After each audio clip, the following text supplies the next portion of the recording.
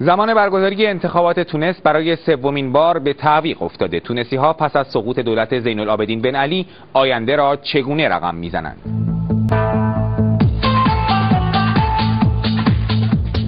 مردم تونس در تظاهرات خود پس از فرار بن علی بارها خواستار برگزاری انتخابات آزاد شدند تا دولتی ملی و دموکراتیک را بر کشورشان حاکم کنند. آنها می‌گویند دولت موقت در این کار تعلل میورزد.